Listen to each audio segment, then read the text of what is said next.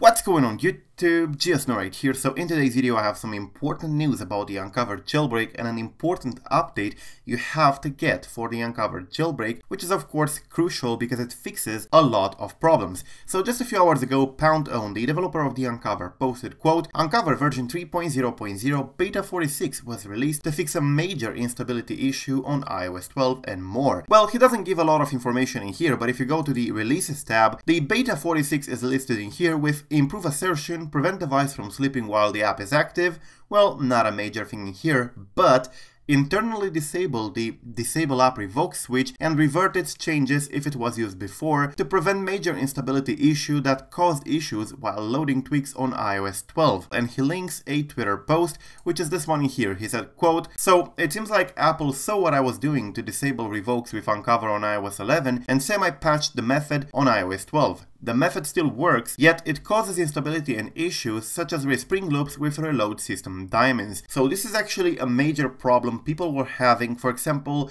you would jailbreak with Unc0ver and, you know, the jailbreak would finish, but it would be stuck in a respring loop, you know, the black screen with the spinning circle, and it would stay there for a few good minutes because of that. It would be pretty much in a loop. And sometimes it would never end up that loop and you would have to reboot it and so on. So it creates major instability stability. And the thing is that this toggle with disable app revokes has been toggled on by default. So nearly everybody who has used the Unc0ver at some point had this toggle on because it's one of the default ones. So yeah, it's very important to apply the fix because it's very likely you are affected as well if you're running the Unc0ver. However, there is currently a problem with Cydia Impactor and I'm going to detail it. So if you take a look in here, COP or Southwest has posted a picture with an error from Cydia Impactor, which does describe the problem very well. It's the error 42 and it says in here failed to verify code signature of whatever application, the executable was signed with invalid entitlement. Now this is an error that appears in Cydia Impactor